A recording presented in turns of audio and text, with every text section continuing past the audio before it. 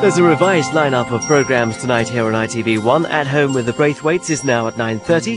Baddiel and Skinner are totally unplanned at 10.30. And you can see tonight's Champions League action at the later time of 11.20.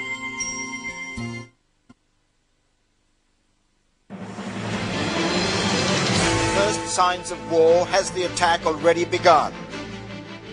Troops massed tonight on the Iraq-Kuwaiti border bombs loaded onto B-52s ready for shock and awe. Yeah, it's hammer time.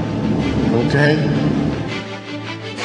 And anti-war protests turn angry across Britain.